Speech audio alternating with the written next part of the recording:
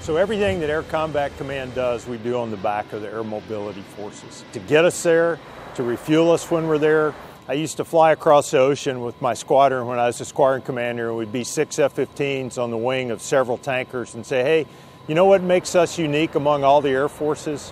The short version is it's not you and me, it's these tankers that let us get wherever we need to get in the world. We're a global air force because we can pick up and move wherever we need to and know that we can be there quickly with everything we need to operate.